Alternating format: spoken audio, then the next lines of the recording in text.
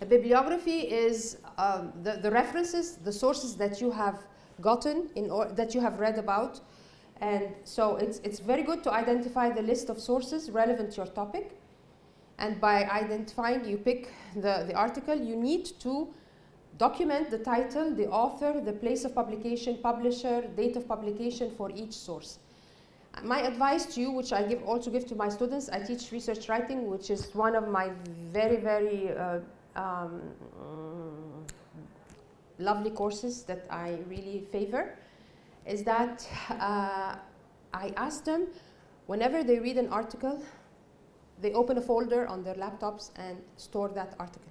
Because you don't want to lose anything that you have read, you found interesting, and in two months you keep on searching for them and you don't find them. So open a folder on your laptop, put in all the articles that uh, uh, have in found interest in your eyes, and, and just store them there. You, you, you, you, you don't know when you're going to use them later on in the process of writing the research.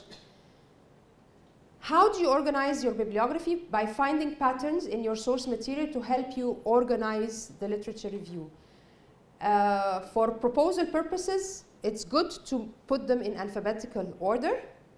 For other purposes that help you in organizing it, can be by historical era, by type of method, or regional.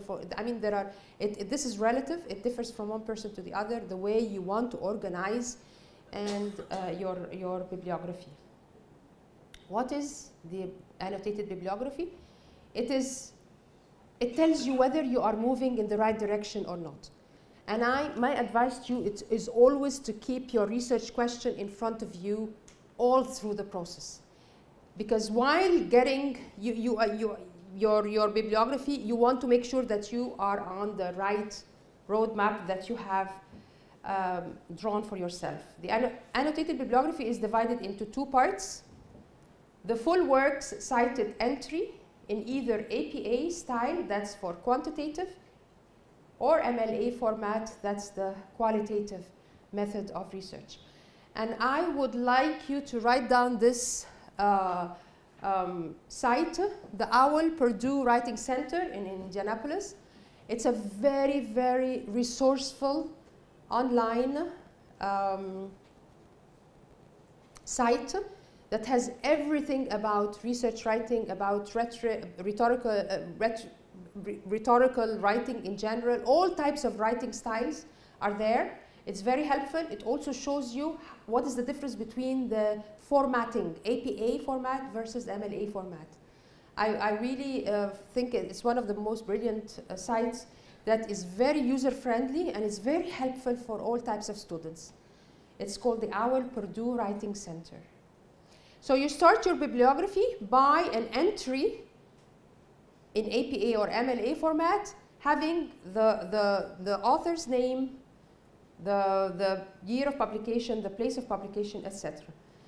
For each source, while you're reading each source, you have to be a critical reader. Again, like a self-learner, as Yasmin mentioned, we need to, to have a critical eye.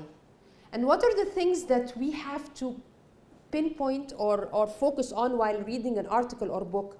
I don't read just kida, uh, generally, but I have to look at the quality of evidence provided in that article. I have to consider the credibility of the source, whether this source is really credible, uh, valid, has valid results or not. The relevance of the source to others is also important. And we need to consider the usefulness of the source in helping you yourself design and understand your research focus. So evidence is highly important. The quality of evidence that the authors have provided their credibility, the relevance to others, how relevant these authors are to other authors, and usefulness is the last.